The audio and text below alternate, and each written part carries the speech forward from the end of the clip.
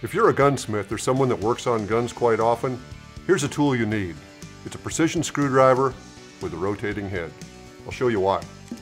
Anytime you're working with small screws, delicate screws, fine finish on a gun, what you want to do is you want to take your big screwdriver and use that to do the heavy lifting, loosen the screws, and then take your precision screwdriver. It doesn't have to be a perfect fit, that's the nice part because you're doing light force and you're just whipping these things out of here in no time.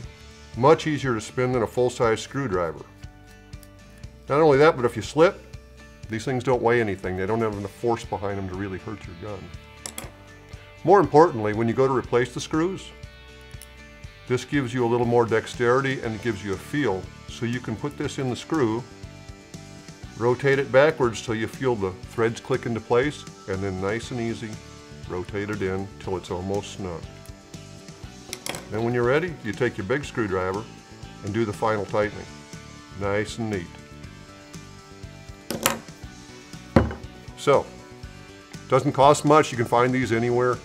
They're just a nice tool to have. If you have to work on guns all day, this saves you a lot of time because cranking this thing around in your hand that gets to be a pain after a while, and you wind up using too much force a lot of times. So take a look at the precision screwdrivers. I think you could really use one.